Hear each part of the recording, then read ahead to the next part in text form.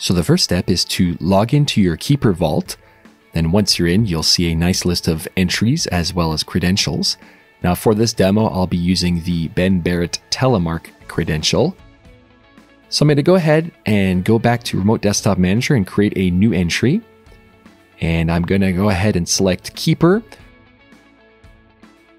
Here's where I can name that credential list as well as put in my email and Keeper password.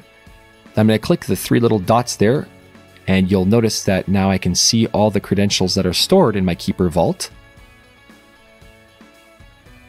Now I'm selecting always prompt with lists.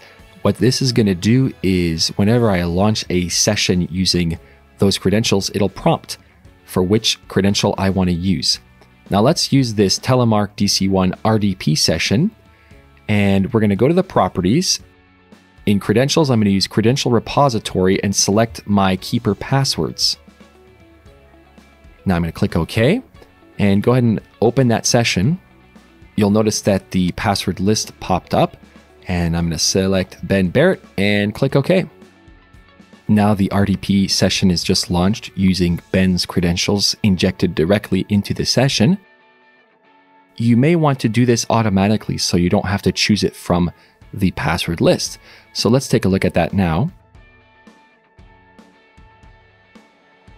So now I'm going to right click on the session and go to the properties. And instead of choosing from the list each time, I'm actually going to manually select it.